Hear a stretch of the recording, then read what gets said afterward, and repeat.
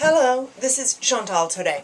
There has been some discussion that Verizon and Vodafone might um, consider merging sometime in the future, but this seems unlikely given the um, regulatory challenges such a deal would face.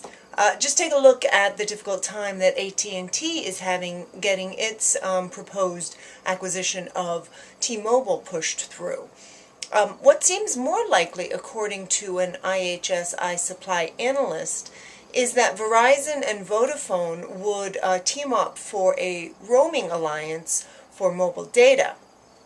With both companies investing in LTE, such an alliance would um, enable them to offer competitively priced roaming charges for mobile data and attract business travelers who see um, easy access to mobile data as uh, very important.